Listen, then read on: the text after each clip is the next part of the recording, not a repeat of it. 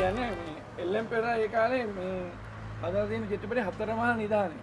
ඒකේ J Milton පෙර තමයි සින්දු කියලා තින්නේ මේ කවුද? කරුණාරත්න අබේසේක ලියලා තින්නේ.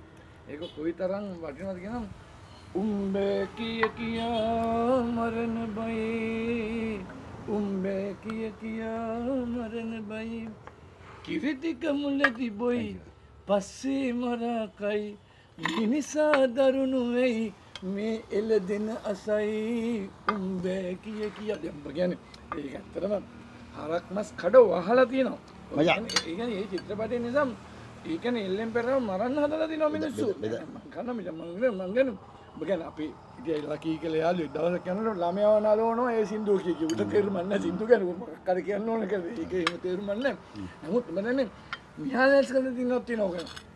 එපා එපා මස් කන්නට කිරි අම්මාගේ. මම ඒක හරක එක තිනම් මේ මස් නොකන්න අයට සෙත සැලසෙන්නේ. අන කොම ඒගැන එන හරක් මස් මජ මම කවදක්ක් කන්න මච. දැන් හරක් මස් කන්නේ අප මං කවදා කතා ජීවිතයටත් මං කන්නමට මගේ ප්‍රතිපත්තියක් ඇති. චිත්‍රපටි බල්ලා තියෙන නිහාස මත සිින්දුවාල තියෙන මිනෙක් කැරිද ඉතින් බං හරක් මස් ගියා. හරක් මස් ගියා. මං කන්න ෑනේ.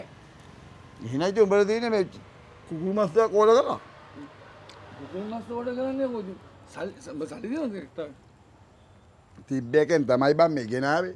මගේ නම් කොයි සල්ලි උඹ දන්නවනේ සල්ලි නැහැ කියලා. ම පහන් නිකන්ද කන්නේ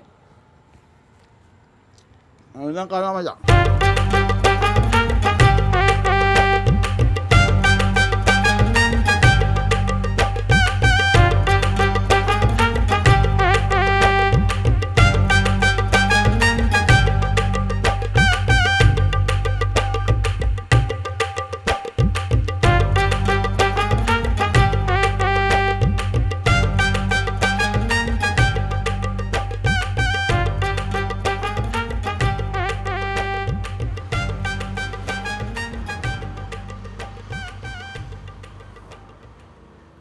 හැබා කුමාර.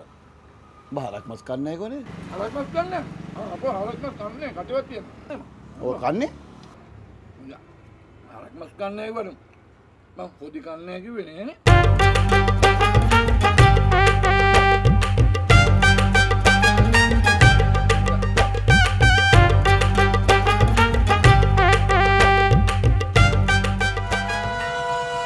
වැටත් නිහරත් ගොයම් කානම් कुमारई माराई।